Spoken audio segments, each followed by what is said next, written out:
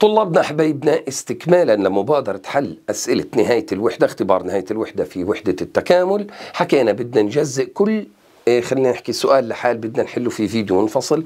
ووصلنا للسؤال الثاني اللي بيقول إذا كان التكامل المحدود ل K ال X D ال X من صفر ل 2 يساوي 6 فإن قيمة الثابت K هي.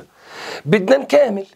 K وزيد للأس واحد بصير X تربيع واقسم على الأس الجديد اللي هو 2 من وين لوين؟ قال والله من صفر ل 2 كل هالكلام شو يساوي؟ يساوي 6 وكعادتنا قوس ناقص قوس بدنا نساويه بستة القوس الأول مين بدنا نعوض فيه؟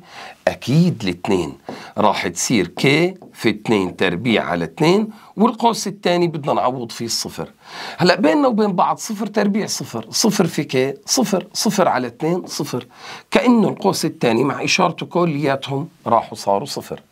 يبقى مين ضل اللي بيساوي ستة؟ بس القوس الأول اللي هو 2 تربيع 4 4 K على 2 اللي هي 2 K بدي أتخلص من المعامل اللي هو 2 عكس الضرب قسمة. على 2 على 2 اذا ال K شو بدها تساوي؟ ال K بدها تساوي 3 وهيك وصلنا لنهاية حل السؤال والإجابة الصحيحة هي الفرع C يعطيكم ألف عافية ألقاكم في السؤال الثالث.